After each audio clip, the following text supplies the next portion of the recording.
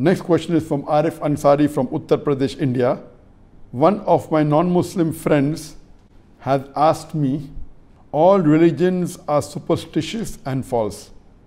The truth lies in science, which is constantly developing. Religion says that God is all powerful, merciful, and all good. If that is so, then why do millions of children in the world suffer from hunger, cold, etc., as the great Russian writer Dostoevsky asked in his famous novel, Brothers Karamazov, why does God, who is said to be merciful, not have mercy on them and give them food, clothes, shelter, etc.? Why is there so much poverty, unemployment, malnourishment, sickness, etc. in the world? If God is powerful and merciful, why does He not abolish these and give everyone a decent life? The question posed by the brother is that one of his non Muslim friends is saying that all religions are superstitious and they are false. Science is ultimate and is always developing. I agree with the brother that most of the religions they are superstitious and they are false, but not all. Islam, alhamdulillah, is based on haqq, on truth.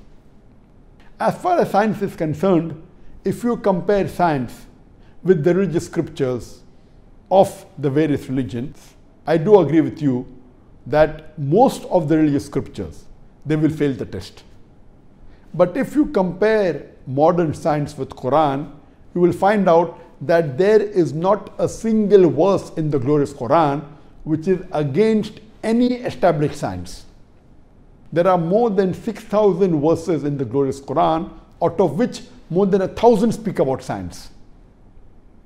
And there are many scientific facts mentioned in the Quran 1400 years ago, which was discovered recently, 30 years back, 50 years back, 100 years back, 300 years back. Now, who can tell us how come the glorious Quran 1400 years ago mentioned about these facts?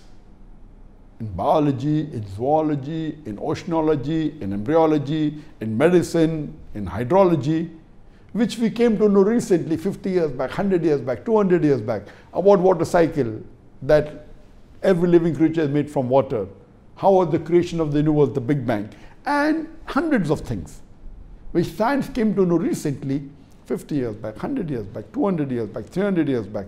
The Quran mentions 1400 years ago. How can you justify this?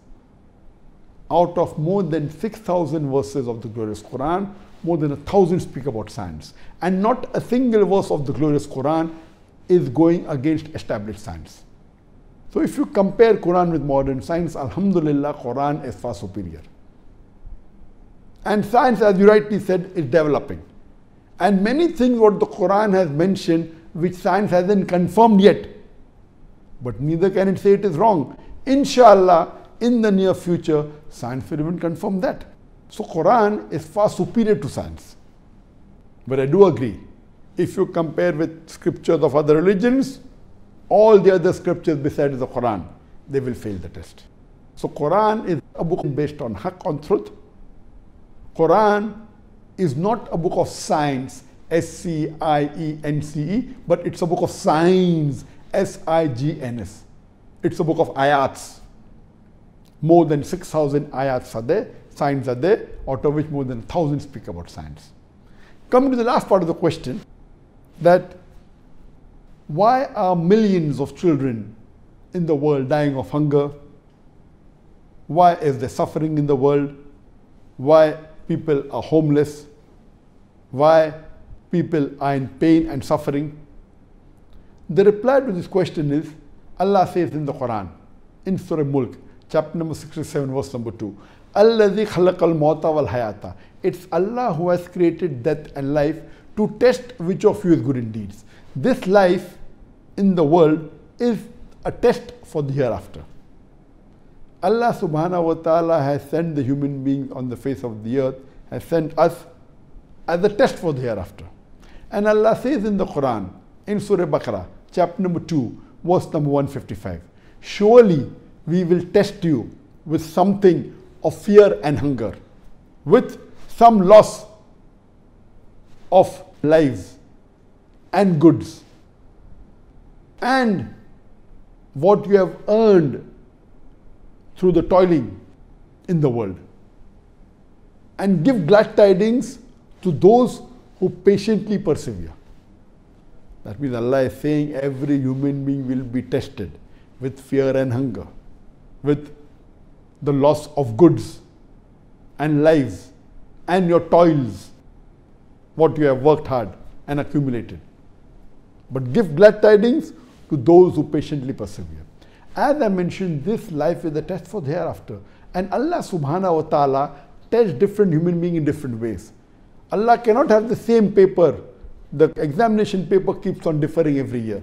So Allah tests different people with different ways. Some with wealth, some with health, some with poverty, some with diseases.